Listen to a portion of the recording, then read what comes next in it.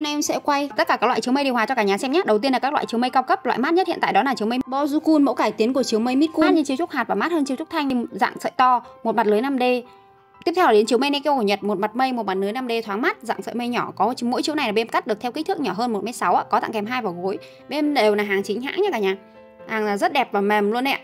Tiếp theo là đến chiếu mây sợi nho Nikisawa VIP Pro, một mặt sợi nho, một mặt lưới 5D thoáng mát mềm mịn có thêu hoa độ quyên vi tính rất đẹp, giặt được máy ạ. Đây là loại mềm nhé cả nhà.